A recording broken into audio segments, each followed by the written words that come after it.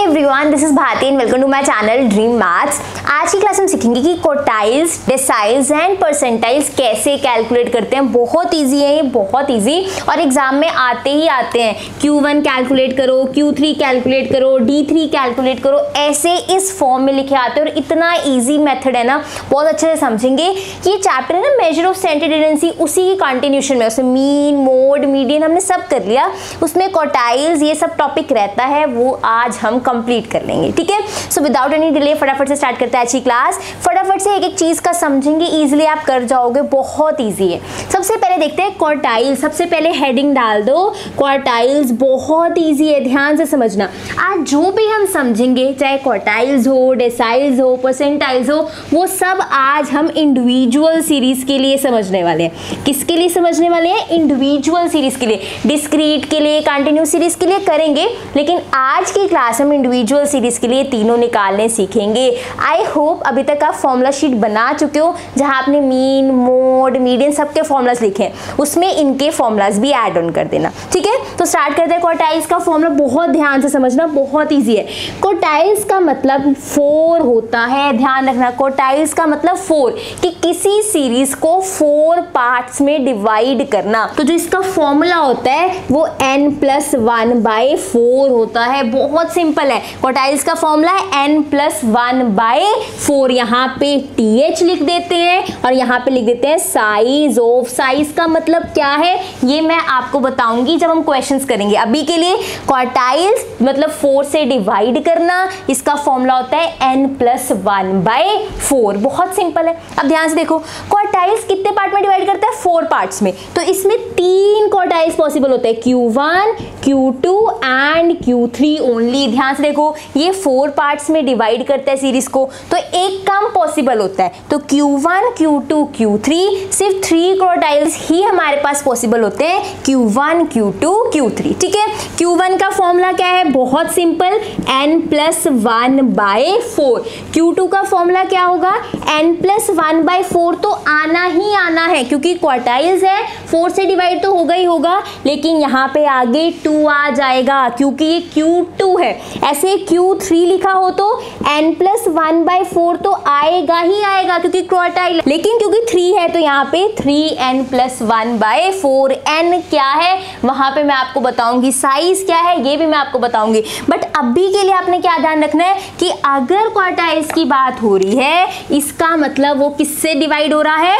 Four से divide हो रहा है। क्योंकि ये फोर से डिवाइड हो रहा है तो तीन ही निकल सकते हैं। Q1, Q2, Q3 अगर Q1 है तो n plus one by four अगर Q2 है n plus one by four तो आएगा ही आएगा लेकिन ये टू आगे आ जाएगा. अगर Q3 है n plus one by four तो आएगा ही आएगा लेकिन थ्री आगे आ जाएगा. This is Q1, Q2, Q3 तो आपसे कोई भी Q7 नहीं पूछने वाला पेपर में. Q1, Q2, Q3 ही लिखा होगा.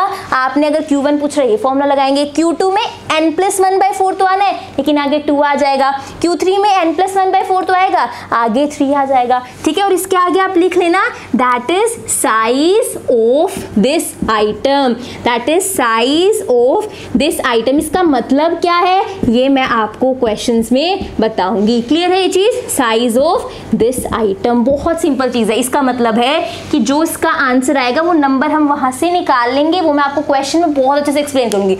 अभी के लिए क्वार्टाइल्स में इतना ही समझना है, क्योंकि ये फोर से डिवाइड होता है थ्री ही पॉसिबल है Q one Q two Q three और ये इसके फॉर्मूलाज हैं। क्लियर है चीज़ अब नेक्स्ट देखते हैं डिसाइज पहले हम लोग इसके फॉर्मूलाज कर लेते हैं, फिर क्वेश्चन पे जाएँगे, अच्छे से समझ आएगा। नेक्स्ट देखो डिसाइज ये भी बहुत ईजी है, बहुत ईजी जैसे क्वार्टाइल्स का मतलब फोर होता है डिसाइज का मतलब होता है टेन टेन पार्ट्स में डिवाइड करना।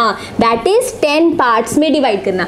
क्योंकि टेन पार्ट्स में डिवाइड करना है तो इसके नाइन पॉसिबल होते हैं। D one D two D three D four D five D six कहाँ तक पॉसिबल है? दैट इज़ नाइन तक। बहुत सिंपल सी चीज़ है। अगर फोर क्वार्टाइल्स है तो तीन पॉसिबल होते हैं। Q one Q two Q three एक कम तक। अगर डेसाइज है मतलब टेन तो एक कम तक ही पॉसिबल होंगे। D one D two D three कहाँ तक? डी नाइन तक। पेपर में कोई आपसे डी टेन नहीं पूछने वाला डी इलेवन नहीं पूछने वाला। इसमें से ही कोई पूछेगा डी फोर निकालो डी फाइव अभी क्वेश्चन करवाऊँगी। क्वेश्चन से बहुत अच्छे से क्लियर होगा। अभी फॉर्मूला देखो, ठीक है? सब सपोज़ किसी ने क्या पूछ लिया? डी वन ध्यान से देखना। डी वन बहुत सिंपल है। एन प्लस वन बाई क्योंकि ये डिसाइल है तो नीचे टेन आएगा। अगर क्वार्टाइल था तो फोर आया था। डिसाइल है तो नीचे क्या आएगा? टेन आएगा। N plus one by ten अगर डी वन है तो आगे वन वन लिखने की ज़रूरत नहीं होती। अगर डी टू है तो यहाँ पे N plus one by ten तो आएगा ही आएगा, क्योंकि डी है ना तो नीचे तो टेन आएगा ही आएगा। लेकिन क्योंकि डी टू है तो आगे क्या आ जाएगा? टू आ जाएगा, ये क्लियर है। और साथ में तो लिखना ही है, क्या? साइज़ ऑफ़ दिस आइटम ये साइज़ का और ये क्या मतलब है? ये क्वेश्चन में क्लियर होगा। ये बात समझ आ गई? ये क्वेश्चन में क्लियर होगा। इस साइज़ का क्या मतलब है? क्वेश्चन में क्लियर होगा। डी वन डी टू समझ आ गया। ऐसे ही कोई डी नाइन बोल दे तो क्या होगा? N plus one by ten तो आना ही आना है। क्योंकि डी मतलब डिसाइड मतलब टेन नीचे टेन आएगा। लेकिन आगे नाइन आएगा. That is nine N plus one by ten this is D nine ऐसे आप कोई भी डिसाइल डी वन से लेके डी नाइन तक निकाल सकते हो. सपोज़ किसी ने डी फोर पूछ लिया तो डी फोर क्या लिखोगे जल्दी से बताओ? D four is equals to पहले डी है तो N plus one by ten आएगा. क्योंकि फोर है तो यहाँ पे फोर आएगा। Four N plus one by ten item, ये लिखते हैं ना उसके साथ। ठीक है? ये क्यू साइज़ वगैरह लिख रहे हैं? क्वेश्चन में समझ आएगा। ये मेन बताओ, ये समझ आ रहा है कि डी फोर में four N plus one by ten आना है? ये बात समझ आ रही है? इसका क्या मतलब है? क्वेश्चन में बताती हूँ। फॉर्मूला क्लियर होना चाहिए। ठीक है? नाउ नेक्स्ट देखो परसेंटाइज परसेंटाइज का मतलब क्या होता है? हंड्रेड परसेंटाइज का मतलब क्या होता है? हंड्रेड बहुत सिंपल सी चीज़ है। परसेंटाइज मतलब हंड्रेड तो इसका P1 से लेके P99 तक पॉसिबल है। एक कम तक पॉसिबल होता है। इसका D1 से लेके, ये सॉरी Q है ना? Q1 से लेके Q3 तक पॉसिबल था। इसका D1 से लेके D9 तक पॉसिबल था। इसका P1 से लेके P99 तक पॉसिबल है। जितना यहाँ नंबर लिखा होता है, उससे एक कम तक पॉसिबल होता है। कोई आपसे P101 क्वेश्चन में नहीं पूछेगा पेपर में। ये बात समझ आ गया? तो P1 से लेके P99 कुछ भी पूछ सकते हैं। सपोज़ किसी ने पूछ लिया P1 तो पहले N प्लस वन बाय क्योंकि पी मतलब 100 तो नीचे 100 आएगा ही आएगा। वन है तो आगे वन ठीक है? आगे P2 that will be two आगे आ जाएगा। N plus one by hundred बहुत सिंपल है। आप सपोज़ किसी ने P59 पूछ लिया, ठीक है? तो P59 क्या होगा? N प्लस वन तो आएगा ही आएगा। क्योंकि ये P है तो नीचे 100 आएगा। क्योंकि आगे 59 है तो यहाँ पे 59 आएगा। ये P59 का फॉर्मूला है। यहाँ पे साथ में ये तो लिखना ही लिखना है। ठीक है? Size of two N plus one by hundred item. ये टी एच मतलब ये आपको क्वेश्चन में बहुत अच्छा समझ आएगा। अभी ये समझ आया कि नहीं कि P fifty nine fifty nine into N plus one by hundred यहाँ तक क्लियर है फॉर्मुलाज क्लियर हो गए क्वार्टाइज साइज़ परसेंटाइज के। पक्का, अच्छे से इजी है ना? ये जो मैं लिख रही हूँ टी एच टी एच ये क्वेश्चन में बहुत अच्छे से क्लियर करती हूँ। मैं यहाँ पे क्वेश्चन नोट करती हूँ, फिर हम क्वेश्चन में सारे कैलकुलेट करते हैं, ठीक है? हाँ जब क्वेश्चन देखो। Calculate Q1, Q3, D5, P21 देखो ऐसे क्वेश्चन आते हैं। Q1 निकालो Q3, D5, P25 ये सारी वैल्यूज़ निकालनी है और ये हमें डाटा दे रखा है। सबसे पहला काम जब भी आपको ये दिख जाए कि आपको Q1 या क्वार्टाइज रिसाइल परसेंटाइज जैसे कुछ भी कैलकुलेट करना है सबसे पहले आपने डाटा को असेंडिंग ऑर्डर में लगाना है। असेंडिंग ऑर्डर का मतलब छोटे से बड़े की तरफ़। पहले सबसे छोटा नंबर फिर बड़ा फिर बड़ा फिर बड़ा। ऐसे करके पहले अरेंज करना है डाटा उसके बाद कोई वैल्यू निकालनी है? समझ आई चीज़? जब भी कोई ऐसा क्वेश्चन आए, जिसमें डी वन क्यू थ्री पूछ रखा है, सबसे पहले इसे असेंडिंग ऑर्डर में लगा लो।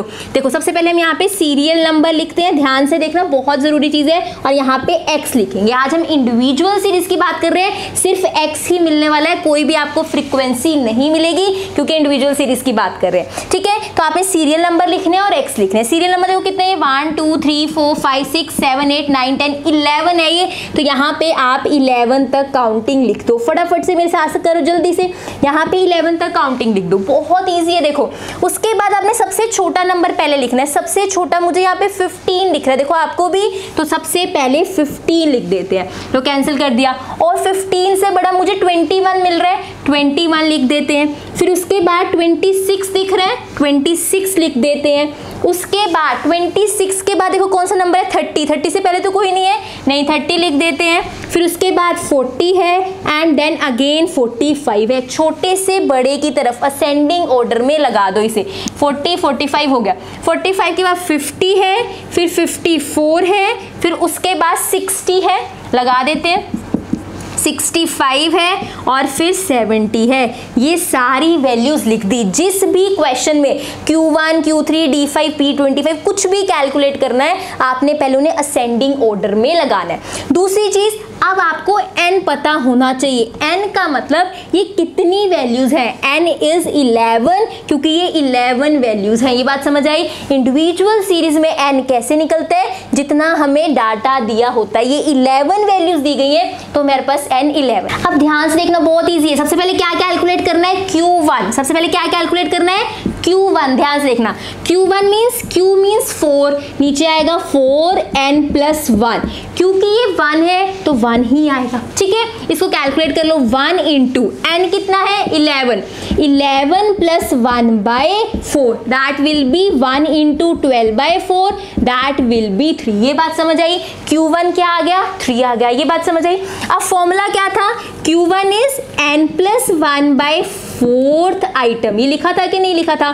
Size of n plus one by fourth item लिखा था क्यू वन क्यू वन कितना आया? थ्री इसका मतलब सीरियल नंबर में जाके जो थर्ड नंबर पे आपके पास आ रहा है, उसको उठा लो। ध्यान से देखो क्यू वन क्या आया? थ्री क्यू वन होता है size of n plus one by fourth item मतलब जो आपका आंसर आया है, उसका साइज़ वो आइटम मतलब थ्री आया आंसर तो थ्री के सामने जो एक्स की वैल्यू है, वो आपका क्यू वन होगा. That is Q one is twenty six बहुत बहुत सिंपल है. Q one is twenty six clear है चीज़? क्यू वन कैलकुलेट हो गया. तो ये टी एच ई आइटम क्यों लिख रहे थे? ये साइज़ क्यों लिख रहे थे? कि जो आपका आंसर आएगा, वो जैसे थ्री आया तो थ्री के सामने जो एक्स की वैल्यू है, वही आपका क्यू वन होगा. ये थ्री आंसर नहीं है. थ्री के सामने जो एक्स की वैल्यू आएगी, वो आंसर होगा. इसलिए यहाँ पे साइज़ ऑफ़ दिस आइटम लिखते हैं. थ्री आंसर नहीं है. इसका जो सामने नंबर आएगा, वो आंसर होता है। क्लियर है चीज़? इसमें कोई दिक्कत? इसलिए सिर्फ़ ये फॉर्मूला नहीं लिखते size of t h item भी साथ में लिखते हैं। इसका मतलब होता है n plus one by fourth t h ये वाला थ्री नहीं, इसके सामने वाली वैल्यू क्लियर है चीज़? क्यू वन कितना आ गया मेरे पास? दैट इज़ ट्वेंटी सिक्स वो मैं यहाँ पे लिख देती हूँ। आगे क्या चाहिए? क्यू थ्री कैलकुलेट करो मेरे से भी पहले फटाफट से। क्यू थ्री मेरे से भी पहले कैलकुलेट करो जल्दी से।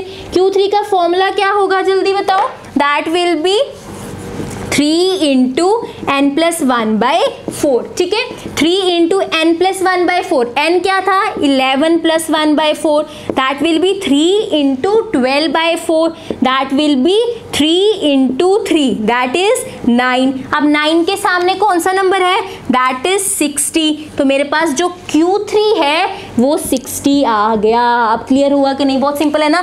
जो क्यू थ्री क्यू वन आते हैं, वो आइटम उठानी होती है। नाइन्थ के सामने वाली वैल्यू उठानी होती है। नाइन के सामने वाली सिक्सटी है। तो आपका क्यू थ्री सिक्सटी आ गया। तो आप यहाँ पे बाद में आइटम साइज़ लिख दो। कोई दिक्कत नहीं है। क्लियर है ये चीज़? चले आगे। नेक्स्ट इज़ डी फाइव बहुत सिंपल अब डी फाइव में से पहले निकालो। जल्दी से बताओ क्या आएगा?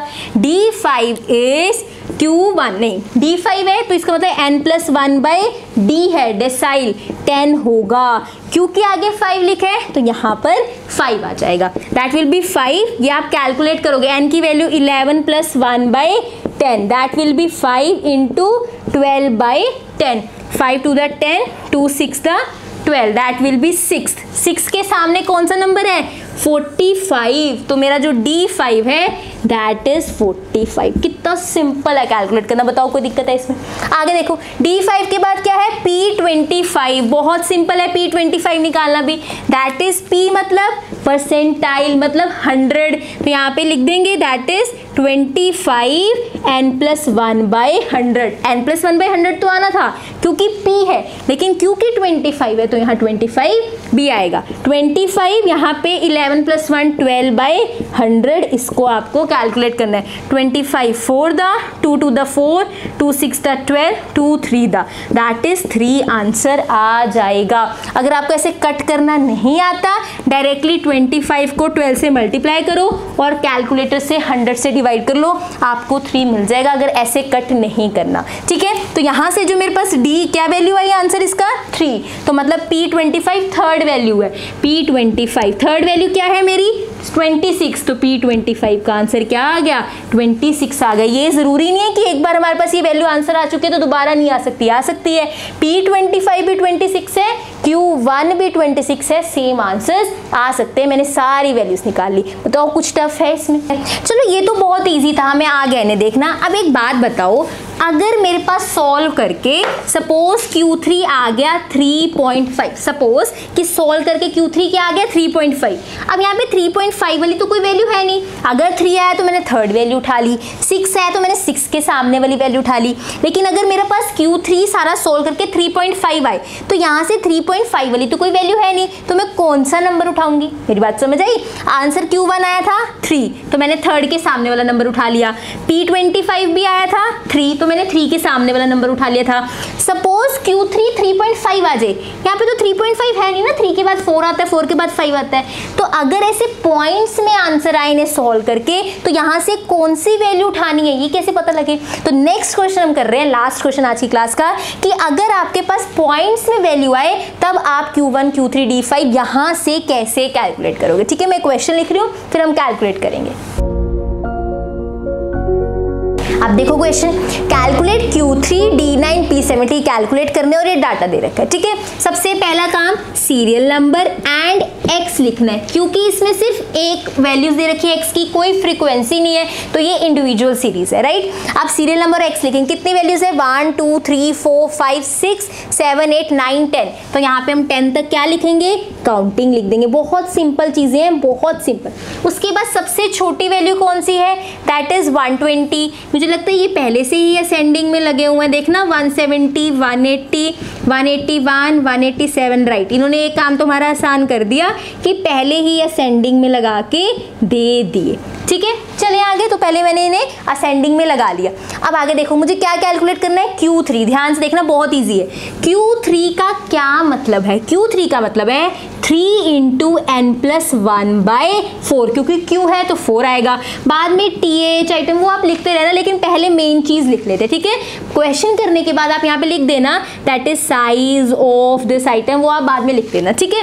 आप पहले कैलकुलेट कर देते हैं। थ्री इंटू एन कितना है? That is ten plus one by four, ठीक है? उसमें बनेगा three into eleven by four यहाँ पे थर्टी थ्री बाय फोर फटाफट से कैलकुलेटर्स निकालो और थर्टी थ्री को फोर से डिवाइड करो, मैं भी करती हूँ। एट पॉइंट टू फाइव मेरे पास एट पॉइंट टू फाइव है आपके पास आया थर्टी थ्री को फोर से डिवाइड करने पे? अब ध्यान से देखो, इसको आप लिखोगे eight plus zero point two five. ध्यान से देखो, अगर पॉइंट्स में आंसर आता है तो जो पहले वाला उसको अलग कर लो और जितने पॉइंट्स में उसको अलग कर लो। एट पॉइंट टू फाइव को लिख सकते हैं, eight plus zero point two five. यहाँ तक समझ आ गया? क्लियर है? अब आगे देखो। ये Q3 से मुझे 8 प्लस ज़ीरो पता लग गया। यहाँ से कैलकुलेट कैसे करना है? ध्यान से देखना। 8 प्लस ज़ीरो तक हो गया। अब ध्यान से देखो। बहुत ईजी है, बहुत ईजी तो अब Q3 कैसे निकलेगा? ध्यान से। ये क्या लिखा है? 8 तो हम यहाँ पे लिखेंगे एट आइटम ठीक है? प्लस ये क्या लिखे पॉइंट टू फाइव यहाँ लिखेंगे पॉइंट टू फाइव यहाँ पे एट्थ आइटम लिखे ना, एक ज़्यादा लिखेंगे। Ninth item minus eighth item अगर पॉइंट में आंसर आ जाए, पहले इसको लग लिखो। Eight plus zero point five eighth item यहाँ पे zero point two five into एक बढ़ाकर ninth item minus eighth item ठीक है? एट्थ आइटम क्या है? एट के सामने क्या है? वन नाइनटी टू लिख दो यहाँ पे।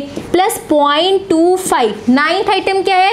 200 माइनस एट्थ आइटम क्या है? दैट इज़ 192 बताओ, कुछ है टफ ऐसे ही करना है। जो आया eighth item plus point two five बाहर। एक बढ़ा के ninth item minus eighth item बहुत सिंपल है। अगर पॉइंट्स में आंसर आता है तो हम 8.25 तो आइटम नहीं ढूंढ सकते यहाँ से।